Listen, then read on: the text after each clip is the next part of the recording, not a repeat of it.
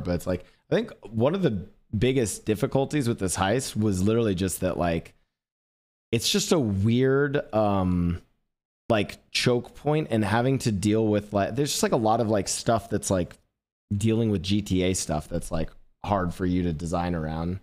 Well, it's it, it comes from um it, I'll admit it comes from like naivety where we have the design in mind and we design it one way, but then we don't realize you guys are morons and it takes you an hour to solve a simple puzzle.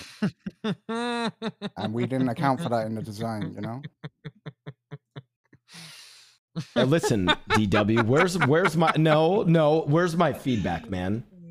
Are you, you can are- always are- are you can feedback? Always Why not? appreciate DW for honest, uh, uh, brutal honesty.